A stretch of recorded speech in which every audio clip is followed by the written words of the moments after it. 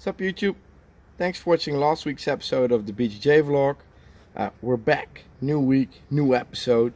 So like I uh, like I promised, uh, every four weeks we're going to do some sparring analysis. So that's exactly what we're going to do this week. And I've also added a little bit of uh, well competition training. Um, what we're going to do is we have a few clips of a few students preparing for this week's uh, competition, King of the Beach. It's no gi and a gi competition, but mostly we focus on you know getting aware of how the points work uh, and making them aware of the strategy a bit. So um, yeah, that's what we're going to talk uh, about a little bit. I hope you guys like it, and don't forget to share and leave a comment, of course. And see you all next week. Oh, by the way. Uh, little reminder, the next two weeks the Hedel Academy is going to be closed due to maintenance. So if you want to drop by, um, well, it's not going to work in Hedel, so text me or send me a message if you uh, if you want to drop by.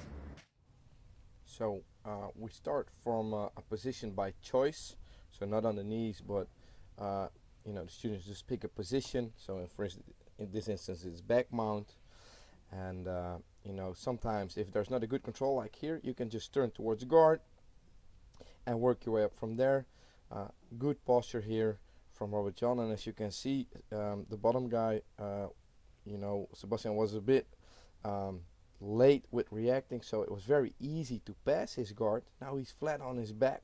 So it's very hard to get in a good position. Robert John is already working the arm as you can see setting his body up behind the shoulder and body of the opponent, bringing the leg over and just uh, taking the arm home. Nice setup there, but I think if Sebastian moved a little bit more, it would have been much, and much harder. So let's see how the next round goes. Um, yeah, they start from turtle position. Okay, so let's see how the how this goes. Okay, so you know Sebastian is work, walking right into the trap. He should have gone uh, behind the hip instead of walking towards the, the head. So now he ends up in the guard, the arm gets trapped, and he gets stuck in a, in a triangle. You know, that's um, that's no problem. That's just basic mistakes, but you'll learn from it. So let's see. This is an interesting round. Joost against Alessandro. I like how in half guard Joost is really blocking the head, so Alessandro cannot turn on the side. He wants to turn on controlling the arm so he can't work the leg and now he's just very patiently blocking the upper body and working the leg to get a full mount and pass the guard and Alessandro is a flexible guy but because his body is pinned he cannot really move. So Joost gets the mount he turns and he transitions to a back mount and in this case he crosses the feet but that's that's a good thing. There's no danger for an attack on his legs and therefore he can control the arms and maybe work for an armbar as you can see here. But um, Alessandro got a pretty good armbar defense as you can see.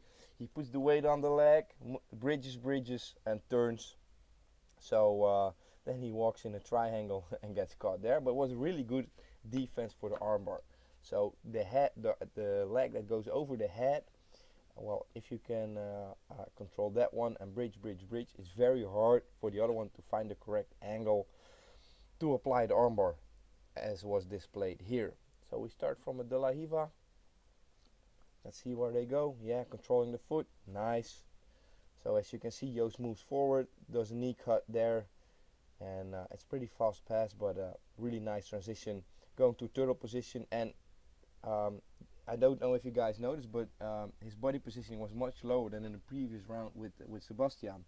Therefore, Joost was in control and able to uh, to keep a dominant position. Foot on the hip, so he cannot move forward, as you can see. Controlling the head, controlling the posture. Have to watch out for the for the wall. Alessandro going for the foot, nice. Joost is controlling his arm, so he cannot get the foot, and he'll probably catch the back. Yes. Again, he's on the side. That's a good thing, especially with his long legs. To cross the feet, now he's much more cautious, you see, because uh, otherwise his foot get trapped. So there's a lot of technical detail in this round, even more than I can uh, can explain. So his weight is back, yes. Otherwise, uh, Alessandro would do a head roll and loot, and Joost loses the position. So he kept his weight back, took him back. Good, good control of Alessandro, not uh, not giving a dominant position. Yeah, stepping past, knee cut there, boom, perfect. And then we already switched to the next fight. Okay, here we have um, uh, Peter and uh, and our guy from the team in Eindhoven, Axel, going for a Gogoplata. But uh, you know, Peter is just keeping his uh, his weight forward, and the thing is, he keeps going for the Gogoplata. You'll see it, but it's very hard from this angle because the knee is past the hip. It puts a lot of stress on your knee and your hip. And if the other guy just uh, you know stays where he is, doesn't create any space, it's it's very hard to to make the technique. So that's just what Peter is doing, controlling the hip. So Axel cannot really move. Yeah, now again he, he has to bring some pressure on the foot because again it's very hard for Axel to um, to get the technique. This is very hard on your joints, uh, but some flexible guys can get it. So it's a setup for a Gogoplata and maybe for a Omoplata, but depending, yeah, there's a good control on the hip I see. So being patient is the right thing to do here. And now move forward, move forward, move forward. And I think I tell him in this round to posture up because this is the moment to posture up and try to pass the guard because this is not a position you want to stay in forever. Posture up, bro. Come on. Yes. Oh man, he got cut again, almost. So uh, I must say, Axel is pretty, uh, pretty flexible there. So that's why you know you got to stay up because if you're in the guard position like this, you cannot pass, right? Because you cannot control the hips and the legs in a way you should in order to pass. So he, the other guy is going to work your arm, your neck, uh, everything, a sweep, and uh, I think he realizes that in a, in a second. So as you can see, Axel is still dominant, but it's very hard to get the submission, but he's still dominant. So Peter is uh, is considering his game plan. Posture up, posture up, posture up. Come on, come on, come on, come on. He's got the guard. He's working for a high guard. That's a good thing for Axel. You know, controlling the upper body, uh, not keeping him down. Now there's some posture, and let's open that guard and pass it. So at this point, the game totally changed. You see, now Peter is in control.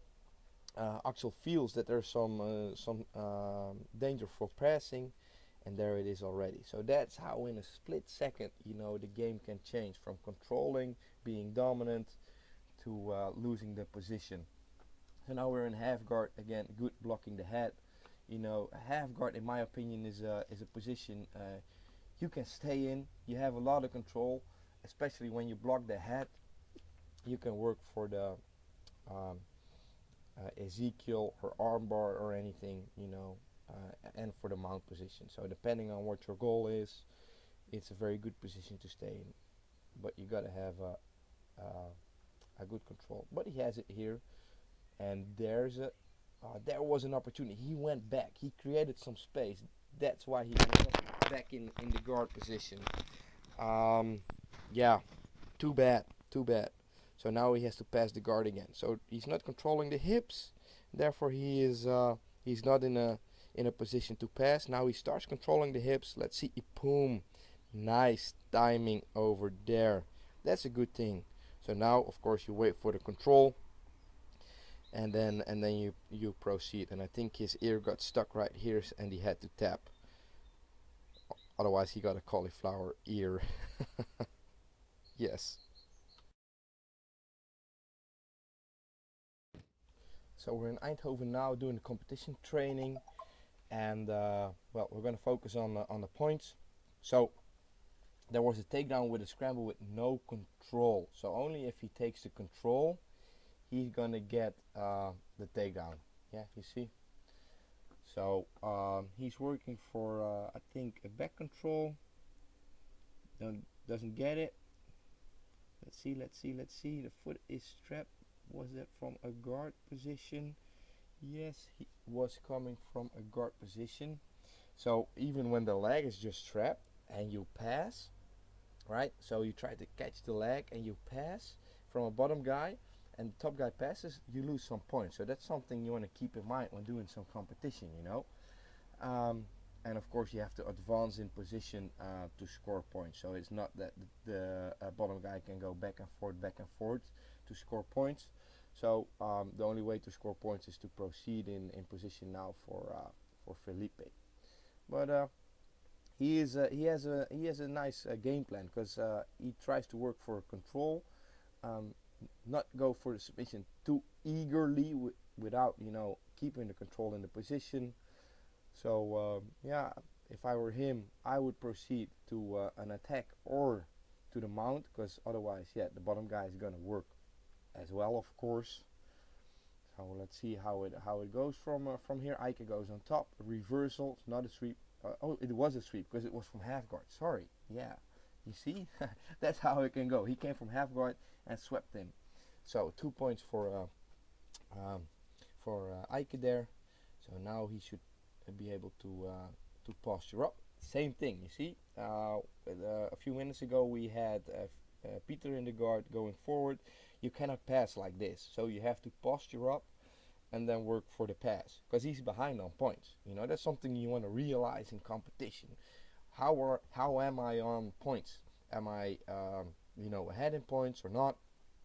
So okay, this is a dangerous thing going for the foot. If Felipe comes up, it's a sweep for Felipe. You know, uh, luckily for Eike, he recovers the position, so no sweep there. See how he's going to work. He has to posture up, or otherwise pass the guard. Ooh, that's a sweep over there. And uh, guard pass, but first he should have a proper control. There was a submission already there. Oh no, it was time. It was time. We fought on time. Sorry, sorry. I, I think I missed the submission, but it was on time. So we go to uh, to the next round then. yes. Okay. Uh, here we are in the next fight. So uh, I had to uh, to move the fight to the middle because they were uh, very close to uh, to the boxing ring. Yes. So they start from guard, and you know, Katja is a is a very competitive fighter, um, but the thing is, sometimes she uh, only goes for the for the kill, and that's a good thing. I always like that, but in competition, it's sometimes about strategy as well. You see, boom, going for the neck, going forward. Really like how how you know she goes for the for the kill. Nice. Um, I think this is a sweep. There, two points for the sweep. You know, because she came from guard um, went to the top position uh, on the cross side too high with the hips so that's what I meant with too eager for the submission the hips were too high so there was a reversal there. Let's see she brings him back in guard. She has a very good guard game. Not easily to get caught. Yeah. And uh, by the way we did a we did a few footlocks in class so that's why uh, you see everybody going for it. I um, I encourage that. You know always try the stuff we did in in training. And I think uh, footlocks, leg locks and stuff like that is something you should not neglect in your training because uh, that's a part of the body that can uh, can be attacked as well so this is a this is a nice guillotine setup if I, my recollection is correct I think he's gonna escape so we see a nice display of how you can score an advantage in IBJJF points by the way we're gonna do the um, uh, Rickson Gracie Cup in the 29th of uh, September. Um, that's uh, you know kind of simplified rules. Um, you know you're going to be penalized on stalling, and there are no advantages. So that's a lot easier for the fighter and the referee. So this is an uh, an advantage because it was a good uh, setup for uh, submission. There was some real threat, but he escaped, and it's time so this was this week's episode. You know, I was editing in uh, in the sun because this is recorded while editing. Um, so I want to thank you guys for watching. And please leave a comment. Let me know what you think of the vlog. And uh, I'm gonna finish up and upload it for you guys. Uh, so you can see this. Uh, what day is it? It's, it's, Thursday, so you can see it tomorrow. And uh, I hope to see you guys soon. Have a great weekend, and uh, thanks for watching.